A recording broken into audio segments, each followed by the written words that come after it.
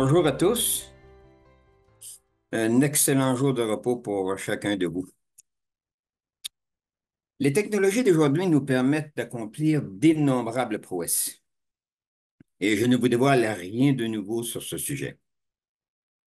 Mais ces avancements dans les technologies ont aussi euh, apporté leur lot de perturbations. De 1 800 000 habitants qu'il y avait à la Deuxième Guerre mondiale en, 1945, nous sommes passés à 8 millions et plus en 2020. Nourrir une masse d'êtres humains de cette ampleur demande toute une logistique. Mais aujourd'hui, je voudrais voir avec vous un problème qui se pose à l'égard d'un élément, plus particulièrement d'un fruit, et même deux en particulier, que l'on retrouve euh, au marché d'alimentation et qui commence à avoir un impact considérable dans certaines parties du monde, et cela juste avec un ou deux fruits. Un de ces fruits est très apprécié pour son goût, sa texture et son association que l'on peut faire avec, une, avec plusieurs types de préparations, et ce fruit se retrouve sous une douzaine de variétés. Sa peau est peu comestible, mais sa chair qui est jaune et qui se retrouve autour d'un noyau ovale et plat fait les délices des amateurs de ce fruit et de toutes les combinaisons alimentaires qui peuvent y être associées. Je vous présente donc notre vedette, la mangue. Je reviendrai un peu plus tard sur, euh, sur sa variété. Pour savoir si elle est mûre, il faut regarder sa couleur. Elle doit devenir jaune et rouge, comme on peut voir sur celle-ci. Elle doit devenir jaune et rouge et sur certaines variétés, elle peut même changer de couleur. Il faut la tâter, l'explorer de notre main et voir pour qu'elle soit tendre sous les doigts, mais pas molle. On ne doit pas passer à travers la peau. Il ne faut pas que ce soit mou. Si elle a des points noirs ou des taches noires, c'est qu'elle commence à avancer au niveau de son mûrissement. Et cela peut nous indiquer avec une certaine clarté qu'il est préférable d'éviter sa consommation. Une chose très importante ici, on ne peut pas se fier uniquement à son apparence. Elle peut également être très belle au niveau de sa texture extérieure. Malheureusement, cela ne garantit pas la fiabilité d'un bel intérieur. Ce qui m'amène au titre de mon exposé, de bons fruits ou de mauvais fruits. Mais aujourd'hui, la mangue subit une attaque de destruction presque massive à différents endroits dans le monde. La perte de ce fruit est évaluée environ d'environ 60 à 80% selon les statistiques. Le dernier fléau de cette envergure s'est retrouvé au niveau de la banane dans les années 50, 60, 70 et même 80. Elle aurait subi un sort presque identique à la mangue en ce moment. La banane est attaquée par la maladie de Panama, également par la maladie de Moko et par un ravageur, le charazon du bananier. La maladie de Panama est un champignon qui est en train de détruire les plantations de la variété de la Cavendish. Ce champignon qu'on nomme la fusariose de la banane est redoutable puisqu'il peut rester dans le sol très longtemps et voyage avec la terre sur les équipements agricoles ou même sur les chaussures des travailleurs. Et il a la particularité de s'attaquer directement aux racines du bananier. Revenons à la mangue. La surprise est que lorsque nous ouvrons la mangue, on y retrouve à l'intérieur, près du cœur ou du noyau, de la pourriture. À ce stade, la mangue est détruite.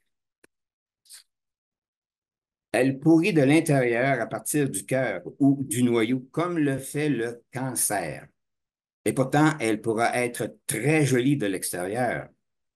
Le coupable de cette destruction, c'est l'anthracnose. Ce pas nécessairement des, termes que nous avons besoin de, conserver, c'est parce que pour l'expression, pour l'exposer, j'ai besoin de cela. Une maladie des végétaux provoquée par un champignon microscopique.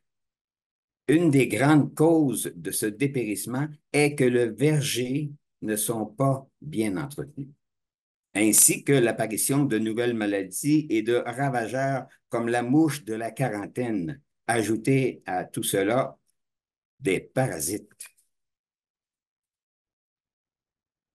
En ce qui concerne la mouche de la quarantaine, on utilise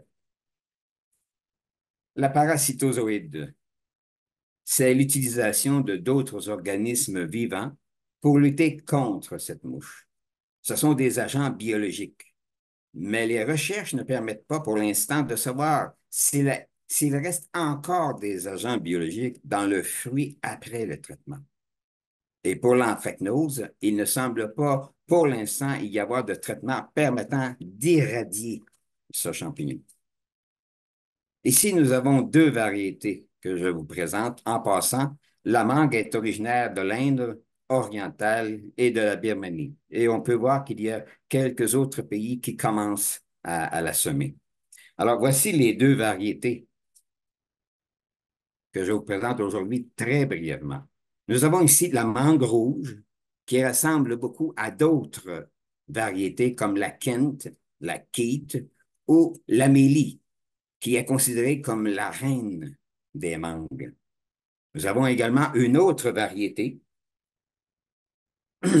différente au niveau de sa forme. L'atolfo. La mangue atolfo. C'est ma préférée, mais c'est également celle qui semble vouloir disparaître plus rapidement que les autres. C'est elle qui est la plus en danger. J'ai parlé il y a quelques instants du cœur de la, de la mangue qui, qui pourrit. C'est qu'en général, sur celle-ci, elles sont jaunes. Mais en général, le contour ici devient totalement noir et la partie extérieure demeure énormément belle.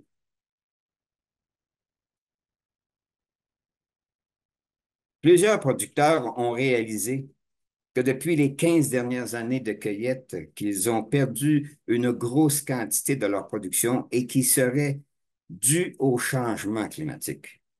La majorité se disent concernés par la sécheresse et le manque d'eau, source d'énergie importante pour la pousse de la mangue. Elle prolifère dans une zone humide. La caractéristique intéressante du manguier, lorsqu'on le plante, il produit son fruit trois ans après et encore plus deux années de plus selon la variété et si toutes les conditions atmosphériques sont favorables. Chose très importante, je me répète, mais c'est très important. On ne peut pas se fier à son apparence. Aujourd'hui, je les regarde sur le comptoir et je me dis, hmm, toi, tu sembles être vraiment bonne, mais je réussis à ne pas trop me laisser séduire. J'ai même diminué de beaucoup l'achat des mangues parce qu'elles n'ont pas ma confiance au niveau de leur qualité. Il est possible que nous perdions ce fruit dans un futur peu éloigné, comme d'autres en faisant référence à la, à la banane. À la lumière de ce que nous venons de voir, peut-on faire un certain lien avec nous-mêmes ou d'autres personnes qui, comme nous, dans un cheminement de croissance spirituelle, et que nous puissions voir ce que Dieu fait en ce moment avec chacun de nous? Ce n'est pas un hasard que j'ai pris la mangue ainsi que la banane, car elles sont toutes les deux très représentatives de ce qu'un vrai chrétien doit être et de ce qu'un faux chrétien peut laisser entrevoir à l'égard de ce qu'il est vraiment. Allons à Matthieu 15 comme premier passage, s'il vous plaît. Matthieu 15.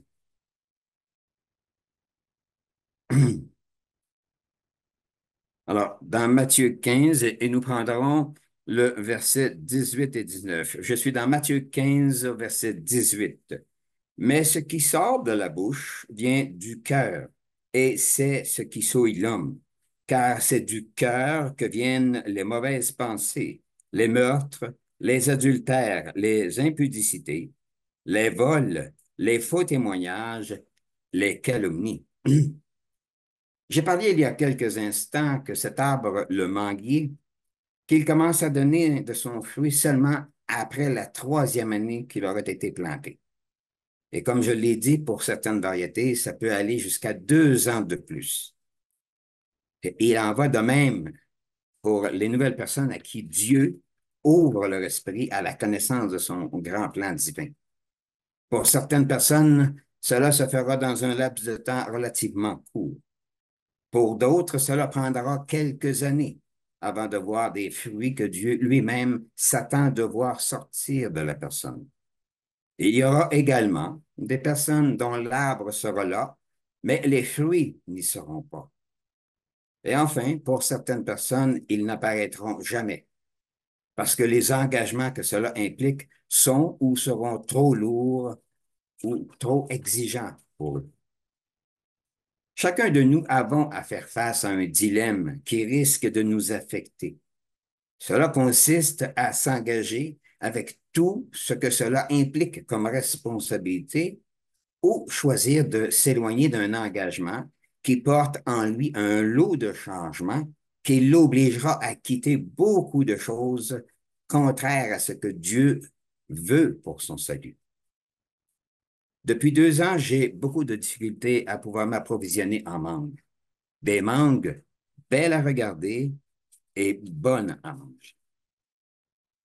Quand j'en ouvrais une qui était belle en surface et qu'au centre, elle pourrissait de l'intérieur, j'étais consterné et très déçu. Et après en avoir ouvert plusieurs avec le même scénario, une question m'a envahi. Et cette question doit se manifester en chacun de nous et en tout temps, car toutes les possibilités de séduction sont manifestes autour de nous. Et la question est, suis-je à la ressemblance de cette mangue? Ai-je une apparence magnifique de l'extérieur, mais avec un intérieur qui déshonore ce que mon extérieur laisse paraître de magnifique aux yeux de tous? Et la question est légitime. On doit se regarder en tout temps et voir si, comme cette mangue, il n'y aurait pas un parasite dans notre cœur qui serait en train de s'infiltrer et de faire des ravages sans pour autant affecter notre extérieur, notre apparence aux yeux de tous. On peut avoir cette merveilleuse apparence extérieure, d'être véritablement différent des autres. Et c'est ce que Jésus lui-même nous demande d'être. Allons à Luc 11. Luc, Luc 11.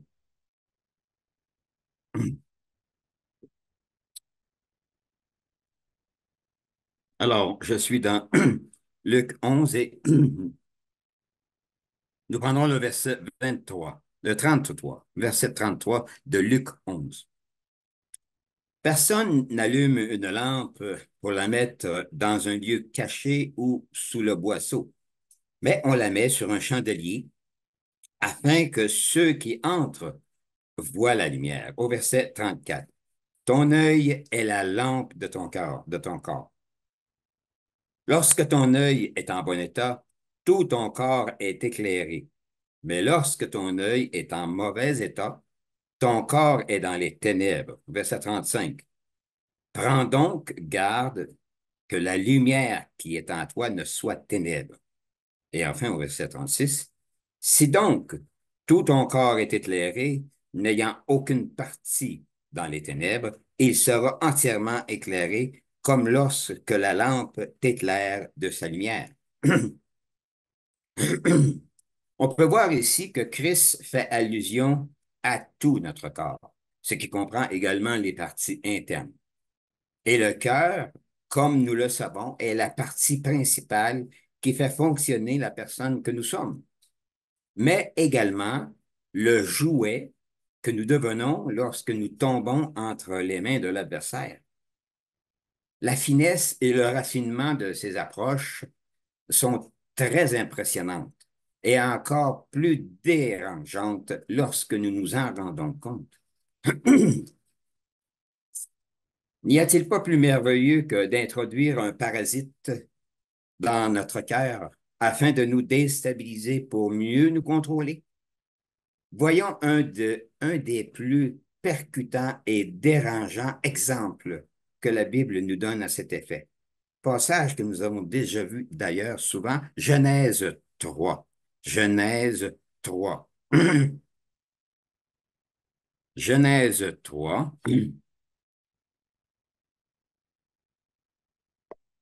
Je commencerai au verset 1.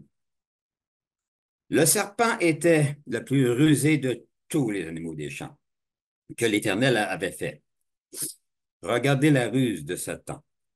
il dit à la femme, Dieu a-t-il réellement dit, vous ne mangerez pas de tous les arbres du jardin? Il a fait en sorte que Ève se pose une interrogation. La femme répond au serpent, nous mangeons du fruit des arbres du jardin. Mais quant, au fruit de l'arbre qui, qui est au milieu du jardin, Dieu a dit, vous n'en mangerez point et vous n'y toucherez point de peur que vous ne mouriez. Voyez la finesse de Satan maintenant. Alors Satan dit à la femme, vous ne mourrez point.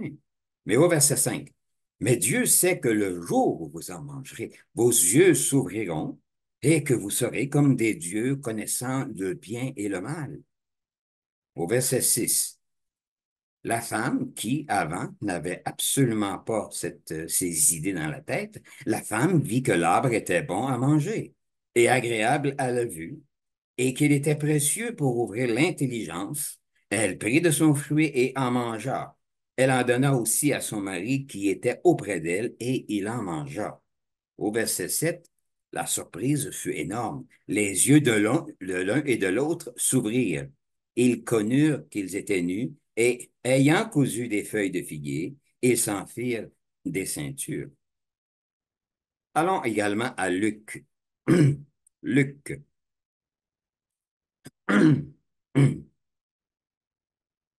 Nous avons déjà vu Luc il y a quelques instants, Luc 11.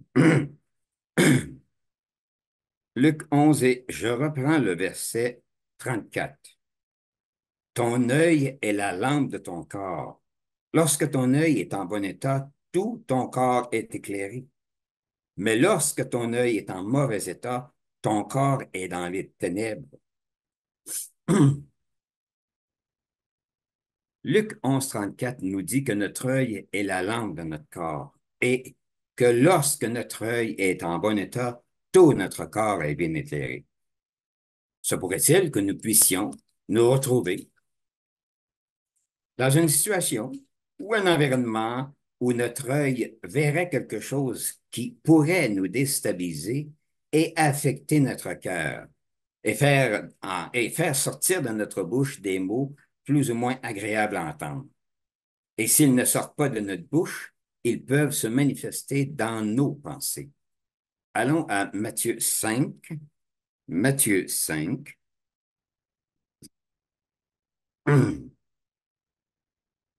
Matthieu 5, et nous prendrons le verset 13. Matthieu 5 au verset 13. Vous êtes le sel de la terre. Mais si le sel perd sa saveur, avec quoi la lui rendra-t-on? Il ne sert plus qu'à être jeté dehors et foulé aux pieds par les hommes.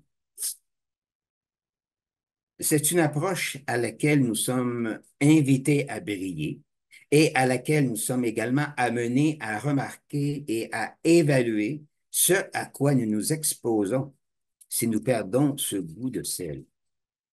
En tout temps, les enfants de Dieu doivent avoir cette réflexion.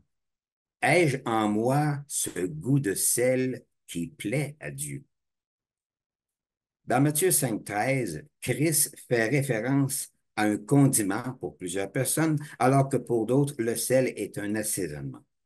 Quoi qu'il en soit, l'importance pour nous est de comprendre ce que Christ veut établir comme valeur importante que nous représentons à l'égard de la valeur et de l'importance qu'avait le sel au temps de Christ et à notre époque également aujourd'hui. Christ nous explique exactement qui nous sommes et la charge des responsabilités que nous avons à entreprendre chacun de nous à cette époque où ce monde est rendu en ce moment. Lorsqu'on regarde attentivement Matthieu 5.13, on peut percevoir que c'est une recette que Christ nous donne pour être heureux et équilibré en tant que chrétien. Aujourd'hui, le sel est courant sur toutes les tables dans le monde entier. Mais du temps de l'époque de Christ, le sel était beaucoup plus rare et moins abondant qu'aujourd'hui. Il avait beaucoup plus d'importance à l'époque de Christ. Le sel était d'une telle importance qu'on l'utilisait pour payer le salaire des soldats et des ouvriers. Le mot salaire vient de cette ancienne pratique de payer avec du sel. Il était très important pour les Romains ainsi que pour les autres peuples, car il était indispensable pour l'alimentation humaine et pour la conservation des aliments ainsi que pour le bétail. On donnait du sel à lécher au bétail, soit sous forme d'eau salée ou de blocs d'alimentation à base de sel, pour attiser l'appétit et lui permettre d'engraisser.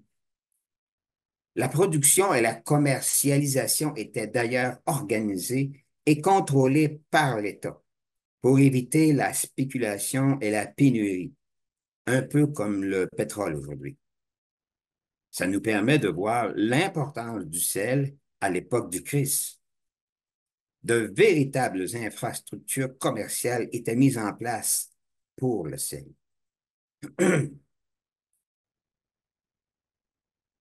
Ce n'est qu'un tout petit aperçu de ce que pourrait représenter le sel, sa valeur et sa rareté, ce qui devrait nous permettre de saisir l'ampleur que représente le passage qui nous dit, vous êtes le sel de la terre. sa rareté,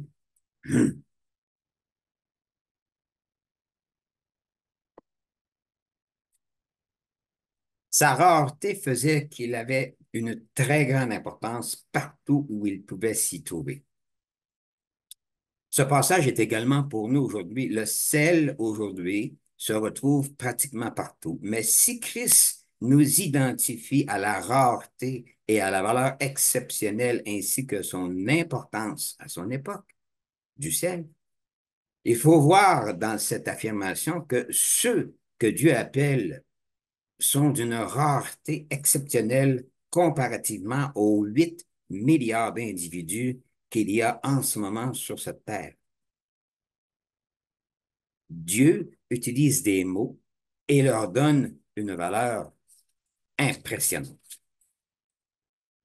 Dans cette expression, vous êtes le sel de la terre, est étroitement liée à celle du verset 14 de Matthieu 5 alors que Christ fait mention, fait, maintenant mention que ceux qui veulent le suivre ne doivent pas perdre ce que Christ leur a enseigné d'appliquer dans leur vie à chaque instant de leur existence.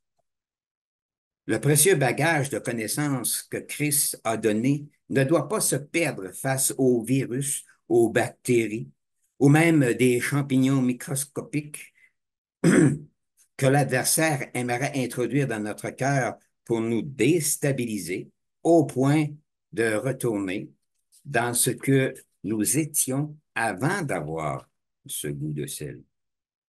Lorsque Christ parle de perdre ce goût de sel, cela risque de faire disparaître son nom ou notre nom du livre de vie et d'arriver aux portes du royaume et qu'elles soient fermées Allons à Apocalypse 3. Apocalypse 3.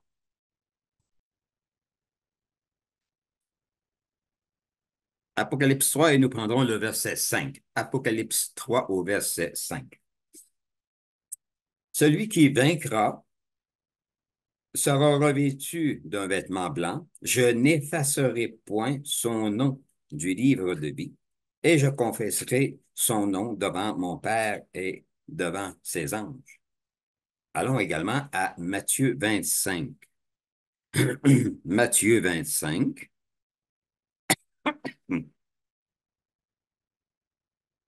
Matthieu 25, et nous prendrons le verset 11 et 12, qui représente les vierges, les dix vierges. Cinq étaient sages, cinq étaient folles. Plus tard, les autres vierges folles vinrent et dirent, Seigneur, Seigneur, ouvre-nous. Verset 12, mais il répondit, Je vous le dis en vérité, je ne vous connais pas. On a aussi parlé du dépérissement des vergers mal entretenus, permettant ainsi l'apparition de d'autres maladies ou de ravageurs. Le chrétien est, le chrétien est en confrontation presque continuelle avec ce que le monde de la technologie a à offrir. La proximité avec la parole de Dieu ainsi que la communication par le moyen de la prière sont essentielles pour un maintien, un parfait équilibre spirituel. Cette proximité nous permet de voir les astuces que Satan pourrait utiliser pour faire tomber un chrétien. Une croissance équilibrée impliquera une constante surveillance sur ce qui se présente à chacun de nous et en tout temps. Il faut également ne pas être inconfortable d'aller vers Dieu, peu importe la chute que nous aurions pu avoir. Dieu regarde au cœur et sa générosité pour le pardon est immense. Nous devons nous habituer à laisser Christ régler les inconforts avec lesquels nous ne sommes pas confortables de savoir comment les aborder. Exemple, pardonner et aimer son ennemi, comment combattre certaines frustrations, etc. Être patient dans notre développement spirituel ne peut ne pas chercher à régler tous nos problèmes en même temps. Mieux vaut en travailler un et l'éliminer complètement avant de passer à un autre. N'oubliez pas notre arbre nouvellement planté. Il produit ses fruits après les trois années de sa plantation. Et pour d'autres variétés, c'est plus long encore. Ce qui est important, c'est qu'après que les racines soient bien ancrées en terre, dans la terre, en terrain, alors l'arbre produira. Le chrétien doit bien ancrer sa croyance et être, et être en parfaite appartenance avec Christ avant de produire de bons fruits. La patience et le contrôle de ce qui pénètre dans son cœur sont primordiales pour l'aboutissement d'une réussite. En ce moment, on essaie de traiter sur la mangue la mouche de la quarantaine avec des agents biologiques et sans savoir s'il pourrait en rester dans le fruit et que ça pourrait affecter l'homme. Les spécialistes sont très vigilants sur ce point et pour ne pas que personne en soit affecté. Par contre, pour un enfant de Dieu qui est en croissance et qui ne baisse pas les bras devant un obstacle, il n'y a pas de doute en ce qui concerne sa réussite. Philippiens 1. Allons à Philippiens 1. Philippiens 1.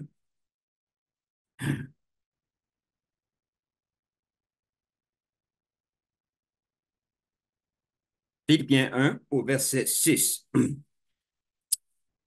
Je suis persuadé, l'apôtre Paul qui parle, je suis persuadé que celui qui a commencé en vous cette bonne œuvre la rendra parfaite pour le jour de Jésus-Christ. Ce qui est important de comprendre, c'est que nous ne sommes pas seuls à accomplir l'exploit d'être gardés précieusement dans le livre de vie. D'ailleurs, nous n'avons aucune force personnellement pour accomplir cela. Seul Christ peut l'accomplir en chacun de nous. Néanmoins, il y a des choses que nous devons faire. C'est de bien vérifier, c'est de bien vérifier où nous en sommes à l'égard d'un parasite possible dans notre cœur parasites se logeant furtivement sous la forme de haine, de ressentiment, d'amertume, de jalousie, peut-être même de la vengeance, et tous les autres parasites de moisissure déjà existants. N'oublions pas que notre beau fruit, la mangue, avait une très belle apparence à nos yeux. Par contre, lorsqu'elle fut ouverte, elle révéla sa vraie nature qui, elle, était repoussante et dédaigneuse. Jérémie 17, 9, vous pouvez le prendre en note, on ne s'y référera pas. Jérémie 17, 9 nous dit que le cœur est tortueux par-dessus tout et il est méchant. Qui peut le connaître? Dieu seul sonde les cœurs et les connaît tous très bien. Allons à Genèse 8. Genèse 8. Genèse 8 et nous prendrons le verset Genèse 8, verset 21. Mais prenons, commençons au verset 20 pour nous mettre dans le contexte. Alors, Genèse 8 au verset 20. Noé bâtit un autel à l'Éternel. Et il prit de toutes les bêtes pures et de tous les oiseaux purs. Et il offrit des holocaustes sur l'autel. Voici le passage qui nous est intéressant. L'Éternel, au verset 21, l'Éternel sentit une odeur agréable et l'Éternel dit en son cœur, je ne maudirai plus la terre à cause de l'homme, parce que les pensées du cœur de l'homme sont mauvaises dès sa jeunesse et je ne frapperai plus tout ce qui est, euh, tout ce qui est vivant comme je l'ai fait. et cela touche, cela touche chacun de nous à différents moments de notre vie selon la situation que nous avons à rencontrer dans notre vie. À la lumière de cette réflexion concernant certains parasites qui pourraient envahir notre cœur, l'ultime remède est d'aller auprès de Dieu et de reconnaître, de reconnaître ce que nous, ce qui nous a envahis, ou que l'on sent que ça veut nous envahir, que ça veut nous pénétrer. Et ici, on parle d'envahisseurs qui nous amènent à transgresser la loi d'amour que Dieu a fait pour notre bonheur. Nous pouvons voir ici l'expérience de quelqu'un qui a eu à lutter contre son entendement, Prenons Romains 7, s'il vous plaît, rapidement. Romains 7. Romains 7. Alors, nous sommes dans Romains 7. Commençons au verset 14. C'est l'apôtre Paul ici. Nous, nous savons en effet que la loi est spirituelle, mais moi, je suis charnel vendu au péché car je ne sais pas ce que je fais, je ne fais point ce que je veux, et je fais ce que je hais. Verset 16. Or, si je fais ce que je ne veux pas, je reconnais par là que la loi est bonne. Et maintenant, ce n'est plus moi qui le fais, mais c'est le péché qui habite en moi. Verset 18. Ce qui est bon, je le sais, n'habite pas en moi, c'est-à-dire dans ma chair. J'ai la volonté, mais non le pouvoir de faire le bien. Verset 19. Car je ne fais pas le bien que je veux et je fais le mal que je ne veux pas. Et si je fais ce que je ne veux pas, ce n'est plus moi qui le fais, c'est le péché qui habite en moi. Je trouve donc en moi cette loi. Quand je veux faire le bien, le mal est attaché à moi. Verset 22, car je prends plaisir à la loi de Dieu selon l'homme intérieur. Mais je vois dans mes membres une autre loi qui lutte contre la loi de mon entendement et qui me rend captif de la loi du péché qui est dans mes membres. Misérable que je suis, qui me délivrera du corps de cette mort? Au verset 25, nous avons la réponse. Grâce soit rendue à Dieu par Jésus-Christ notre Seigneur. Ainsi, donc, moi-même, je suis par l'entendement esclave de la loi de Dieu et je suis par la chair esclave de la loi du péché. L'apôtre Paul était très connaissant de la loi de l'amour de Dieu, mais il était également très conscient qu'un parasite cherchait constamment à lui faire quitter la bonne voie que Christ avait établie en lui. La mangue pourra peut-être un jour être vaincue par la mouche de la quarantaine, par le champignon microscopique et par une pluie de parasites, et elle disparaîtra peut-être. Et ça pourrait également être le même cas pour la banane. Mais nous, pour aucune considération, nous, ne devons pas disparaître sous les charmes microscopiques que le diable cherche à nous injecter afin de nous éliminer de la gloire qui nous attend. La mangue est un fruit qu'on ne se lasse pas de manger et elle nous apporte un bien-être pour notre corps physique. Mais nous, ce que nous serons, si nous sommes victorieux, sera beaucoup plus qu'une sensation physique pour le corps car il est dit que tout homme se nourrira de la parole de Dieu. Et ce sont ceux qui n'auront pas laissé les parasites les envahir, qui les nourriront de cette nourriture spirituelle que l'homme a tant besoin d'avoir. Pour conclure, quelle est la valeur des fruits que nous donnons chacun de nous, et cela en tout temps? Que Dieu nous aide dans notre réflexion. Une agréable fin de sabbat à tous.